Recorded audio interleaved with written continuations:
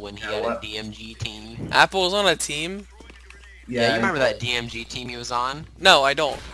Yes, you Yeah. definitely do. And then you bullied me, and then I started messaging you like, hey, why does it matter so much? And then you were like, I just don't think it really matters if you're on a team at DMG, because if you're not going to go pro as a DMG, then Dude, what do you mean? DMGs are as good as global. Uh, I don't know I do not about know that. that. Well, Z Oh! frames, though.